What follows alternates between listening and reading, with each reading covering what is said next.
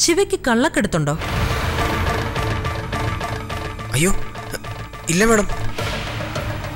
അല്ല എന്താ അങ്ങനെ ചോദിച്ചേ? നിങ്ങളാണോ ഇയാളുടെ ഭാര്യ? അതെ. ഭർത്താവിന്റെ കള്ളത്തരങ്ങളൊക്കെ ഭാര്യയ്ക്ക് അറിയാൻ സാധിക്കും. എല്ലാവർക്കും അല്ല ചിലർക്ക്.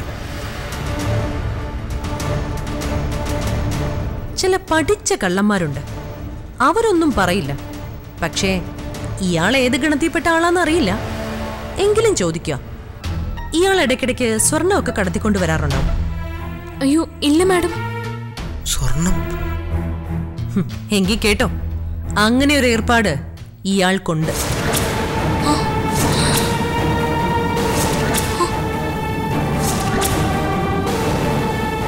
അന്ന് ആക്സിഡന്റ് നടന്ന കാറിൽ നിന്നും അമ്പത് കിലോ സ്വർണമാണ് പോലീസിന് കിട്ടിയത്.